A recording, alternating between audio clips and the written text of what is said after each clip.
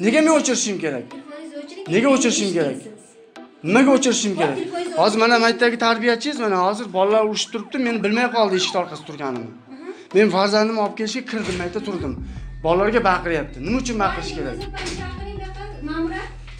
Bitta meni o'g'lim emas hammasi yig'ilyapti bu yerda aka mana men sizdiraman guvoh necha marta ko'ndiraman boshqa erkalayman boshqa sizni o'g'lingizga umuman siz erkalamayapsiz menchi o'g'limni nazarda tutib aytmayapman men hammani nazarda tutib aytyapman Qur'onni ko'rdingizmi? yo urish shart emas men baqirganim ustida kelib qoldim urish shart emas mana aytsin Ayting. hozir keladi mana odina ham bir xillarni ayam ayam bir xillarni- o'chir ovozingni dedingiz men kamerani yoqishga ulgurmagan edim haqiqatan ham o'chir O'ch- ovozingni dedim Ana, yig'lamagin ko'ryapsizmi? Bolajonlar yig'lamanglar u yoq bu yoq deyish kerak emas edi aslida. men ham shunaqa deyman bir xillarda erkalayman bir xillarda mana nechta ham kirib ketadi yig'laydigan bolang yig'lamay qolibdi deydi kechirimni mendan so'ramaysiz mana mana shu ota bolalarni ota onasidan so'raysiz kerak joylardan so'raysiz kechirimni. Bog'cha opalaring nima deb urishyapti seni? Urishyaptimi u yo'qmi? To'g'risini ayt. Yaptı. urishyaptimi? Nima deb urishyapti? Ankeler yaptı. ayangilar deyaptimi? Hı. Siz yamattı. keyin men ham aytdimi yana nima deb urishyapti urdimi yo'qmi seni Yok. urmadimi faqat urishyapti? Ada bu kız durdu. boshqa qizni urdimi o'rtog'ingni a qattiq urdimi qo'yar ular jazolab qo'yamiz bo'ptimi yangi avtomobilni texnik ko'rikdan o'tkazish talabi bekor qilinishi mumkin. Bu 2021 yilgi davlat dasturiga oid prezident farmon loyihasida o'z aksini topgan. Takliflarda yo'l harakati xavfsizligi xizmatining asosiy faoliyatini fuqarolarga ko'mak berishga yo'naltirish maqsad qilingan. Shu bilan birga transport vositasini texnik ko'rikdan o'tkazishni eksterritoriallik prinsipi asosida yo'lga qo'yish ham taklif etilmoqda. Toshkent nukus shaharlari va viloyatlar markazlarida bittadan ro'yxatdan o'tkazish va imtihon olish bo'limlarida propiskadan qat'iy nazar transport vositalarini davlat ro'yxatidan o'tkazish va ularga davlat raqamini berish ko'zda tutilmoqda. Yana bir taklif barcha ro'yxatdan o'tkazish va imtihon olish bo'limlarida hamda yigirmata davlat xizmatlari markazlarida milliy haydovchilik guvohnomasini rasmiylashtirish umumiy prinsip asosida amalga oshiriladi. Haydovchilik guvohnomasi uchun imtihon jarayonini onlayn kuzatish imkonini yaratish ham reja qilingan. Jahon sog'liqni saqlash tashkiloti yaqin orada koronavirusdan haftasiga 100 minglab odamlar vafot etadi. Dunyoda koronavirus tufayli o'lim soni yaqin orada haftasiga 100 ming kishiga yetadi. Jahon sog'liqni saqlash tashkiloti favqulodda vaziyatlar bo'yicha mutaxassis mayk rayan bunga tayyor turishga chaqirgan. Hozirgi kunda epidemiologik vaziyat o'zgarib turibdi va turli mintaqalarda har xil kechmoqda deydi jahon sog'liqni saqlash tashkiloti boshqarma xodimlari yig'ilishida. Uning ta'kidlashicha shimoliy va janubiy amerikada jami o'lim holatlarining 47 foizi to'g'ri kelmoqda. Ularning soni o'sishda davom etyapti. Garchi yuqori darajada bo'lsa ham yevropada o'lim darajasi barqarorlashmoqda deya ma'lum qiladi rayan endi ishlamaydigan fuqarolar ham pensiya olishlari mumkin bo'ladi. 2021 yil uchun davlat dasturi loyihasida va dasturni amalga oshirish bo'yicha prezident farmon loyihasida pensiya va nafaqalarni tayinlashda fuqarolar uchun yanada qulay sharoitlar yaratish maqsadida yangiliklar kiritish rejalashtirilgan.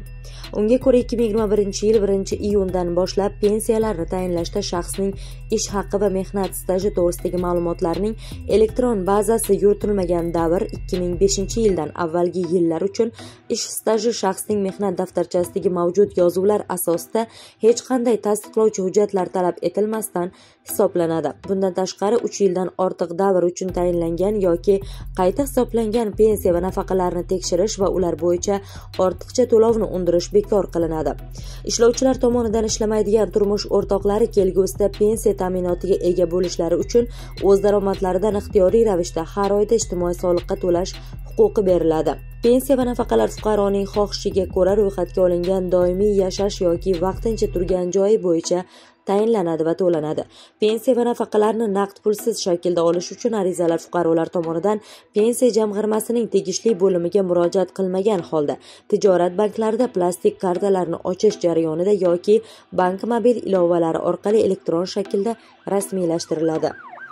Putin rossiya qurilish ishlariga mehnat migrantlarini jalb qilishni soddalashtirishga ko'rsatma berdi. Rossiya prezidenti vladimir putin hukumatga 2021 yil 1 martga qadar boshqa mamlakat mehnat migrantlarini qurilish maydonlarida ishlashga jalb qilishning soddalashtirilgan tartibi bo'yicha takliflar kiritish vazifasini topshirdi. Qayd etilishicha prezident topshirig'ida rossiya fuqarosi bo'lmagan ishchilarni shu jumladan mustaqil davlatlar hamdo'stligining ayrim mamlakatlari fuqarolarini qurilish montaj ishlari ishlarini bajarishga jalb qilishning soddalashtirilgan tartibi haqida gap ketmoqda. Hujjatga ko'ra mehnat migrantlarini virusga qarshi talablarga rioya qilgan holda ishga jalb qilish rejalashtirilgan. Eslatib o'tamiz rossiya ichki ishlar vazirligi mamlakatda migrantlar soni kamayib ketganini ma'lum qilgandi.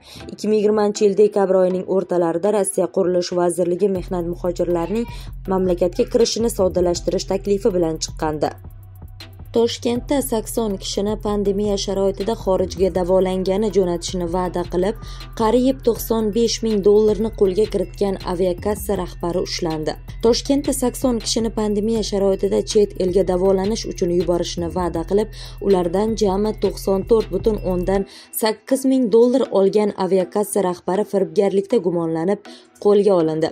Bu haqda ichki ishlar vazirligi jinoyat qidiruv bosh boshqarmasi korrupsiya va iqtisodiy jinoyatlarga qarshi kurashish boshqarmasi xabar berdi. Chet davlatga davolanish uchun borishga asos bo'luvchi kasalligi haqida hujjat tayyorlab berishiga va shu hujjatga asosan rossiyaga bemalol borishi mumkinligiga ishontirib uning bir ming to'rt yuz ellik aqsh dollarini olayotgan vaqtda ashyoviy dalillar bilan ushlangan. Olib borilgan tezkor qidiruv ishlari davomida fuqaro bundan avval ham yetmish to'qqiz nafar fuqaroni shu usulda aldab ularning har biridan bir ming ikki yuz aqsh dollaridan jami to'qson to'rt ming sakkiz yuz aqsh dollari miqdoridagi pul mablag'larini qo'lga kiritganligi aniqlangan.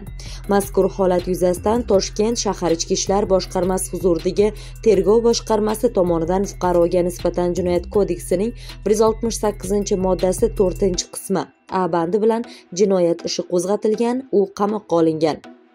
Turkmaniston xitoyga gaz yetkazib bermoqchi. Gaz quvur o'zbekiston orqali o'tishi mumkin. Turkmaniston chet elga gaz yetkazib berish hajmini ko'paytirmoqchi. Shuningdek xitoy xalq respublikasi turkmaniston gaz eksport qiladigan mamlakatlar qatoridan joy oldi. Ushbu masalani turkman xalqining yetakchisi gurbanguli berdimuhammedov va xitoy xalq respublikasining elchisi tsian naychen muhokama qildi.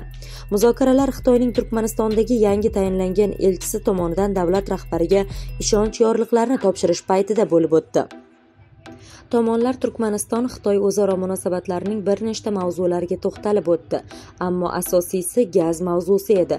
Turkmaniston rahbari turkmanistondan xitoygacha o'zbekiston va qozog'iston hududlari orqali o'tadigan transmilliy gaz quvuri qurish bo'yicha keng ko'lamli loyihani amalga oshirish muhimligini ta'kidladi. Milliardlab kubometr gaz yetkazib beruvchisi mamlakatning sharqida joylashgan yirik turkman koni malay gaz qazib olish konidir. Ushbu gaz quvuri ikkinchi o'n yillikda ishlayotganiga qaramay mamlakat qazib olinadigan gaz hajmini oshirishda davom etmoqda.